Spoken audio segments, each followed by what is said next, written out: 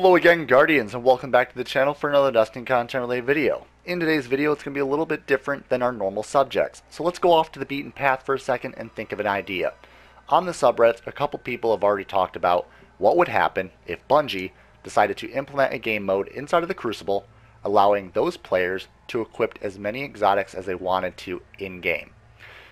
This idea seems a little bit bizarre, but probably not too far off the stretch of a possibility because it's not that overpowered if you think about it.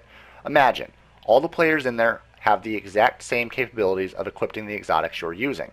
Also, your gear and light level don't increase to tier 12 that easily as well. We'll go over that in this video, but this idea came about because EasyNow made a video on this concept. He created the idea of a Blade Dancer and what exotics he would use on that Blade Dancer inside of his Hunter subclass, and the video was actually fairly well made. Definitely go check out his video, the link will be down in the description of this one. So thank you EasyNow for the idea. Let's go into my concept idea though. My Warlock, what I would be using, and what exotics would be equipped to that Guardian. Well, my Warlock is here right now, and if we go into his inventory, we already can see that he's equipped with Storm Trance. That's what we're going to be going with in this video. So what exotics would I use? Well, that's not too far off the beaten path. For the primary, I would equip Outbreak Prime. Why? Because it's the newest exotic out there, one of the rarest, and also one of the most prized inside of PvP. It's almost like the Hawksaw, except it's got a special exotic perk allowing you to get a headshot kill, and it breaks out into Siva nanites that will attack the nearby enemies on the Crucible team. Also, if you get multiple body shots on somebody, those Siva nanites will attack that person to eventually finish him off and also attack nearby enemies next to that person. So all in all, a fairly decent Crucible primary to use. And it also leaves room for the other exotics I'd like to use. So inside of the secondary slot, I would be using the Trespasser. The Trespasser, ultimately because of the special ability it has to go up against shotguns and fusion rifles, and yes, as it may not be useful against sniper rifles, I would like to use it against those shotgun rushers and also those fusion rifle users. And it's also got that special perk where if we decide to use it, we can kill somebody, reload very quickly, and then the other person behind the bullets of that trespasser would be annihilated very quickly. For that heavy weapon exotic, I'd be going with the Iron Gjallarhorn. The Iron Gjallarhorn ultimately, because it has tracking and Wolfpack rounds, and Gjallarhorn, everybody knows, has always been that fair, useful exotic inside of Crucible, and I would like to stick with that tradition and use the Gjallarhorn. Absolutely love the exotic, and honestly, if I could use the Gjallarhorn in every Crucible match along with the other primary exotics I'd like to use, I would definitely do so. So, inside of this Crucible game mode of being able to use as many exotics as possible, that's exactly what I would go with, especially for my Stormcaller build. Now, I also would like to run the helmet exotic, the Apotheosis Veil, only because I would like to remove Transcendence from my Stormcaller. As you all know, Transcendence allows the Stormcaller to have a full grenade and melee charge, and when they pop Transcendence or they use their super, they can get their health immediately back. The cool thing about Apotheosis Veil, though, is if you pop your super, you immediately get your health back and you also get your grenade and melee back. So that means it's 10 times better than the normal Transcendence perk out of the Stormcaller, and you can benefit a lot more from that.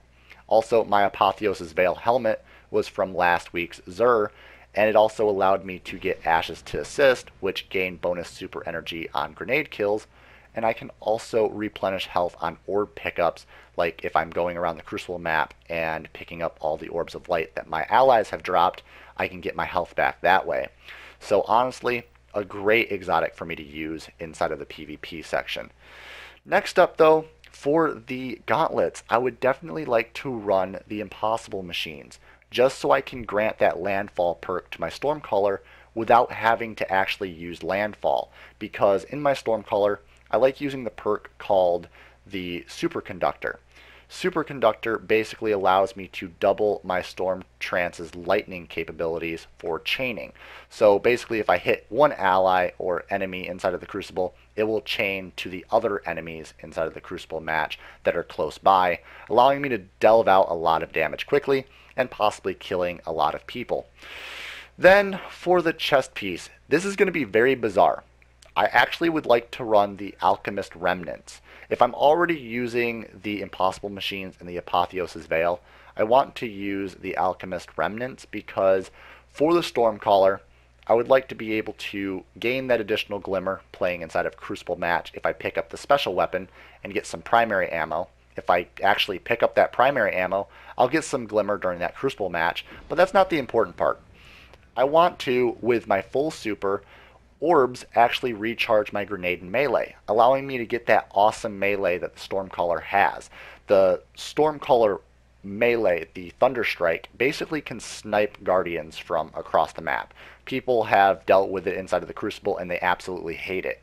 And if I can use that melee often, just because if I have a full super, orbs, if I pick up orbs that my friends drop and I still have my super, I can still get my melee back fairly quickly. So grenade and melee charge, absolutely a beautiful idea to run Alchemist Remnants.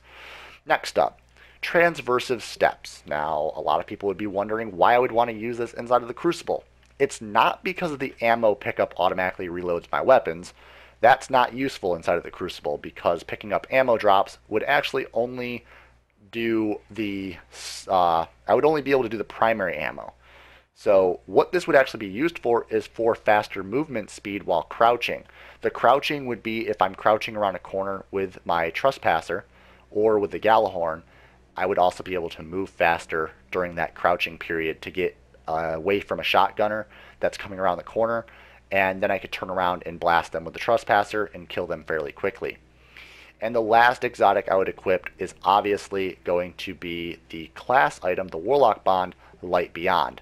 Only because of the simple fact is I love Dead Orbit, and that's honestly why I would be wanting to run it, because I'd like to equip it to increase my reputation for Dead Orbit during a Crucible match. And there you have it, Guardians. That's my idea for my Stormcaller build on all the exotics I could equip to that Stormcaller.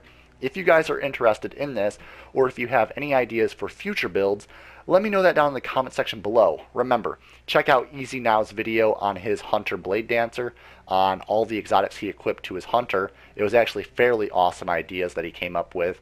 And if you guys want to see future videos like this one, say if I wanted to do my Voidwalker or maybe even my Sunsinger or maybe even the Hammer of Sol Titan, let me know if you want to see those videos in the future on having these ideas implemented on those Guardians as well.